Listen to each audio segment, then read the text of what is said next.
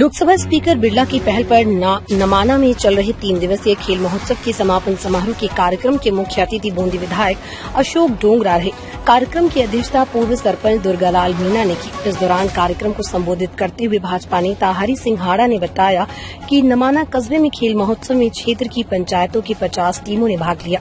जिसमें रविवार को नमाना व कमरपुरा के बीच में क्रिकेट का फाइनल मुकाबला खेला गया, जिसमें कमरपुरा विजेता रही। वहीं दूसरी ओर आमली और जवाहर नगर के बीच में क्रिकेट का फाइनल मुकाबला हुआ, जिसमें जवाहर नगर विजेता रही। इस मौके पर विधायक अशोक डोगरा ने कहा कि खेल को खेल की भावना से ही खेलना चाहिए। साथ ही जीतने वाली टीम को बधाइयाँ दी और साथ ही हारने वाली टीम को आगे के समय में अच्छा खेलने की नसीहत दी। इस अवसर पर श्याम बिहारी शर्मा, मनीष खरीड़िया, जितेंद्र खरीड़िया, सुरेंद्र मीना सहित अन्य कई मौजूद रहे।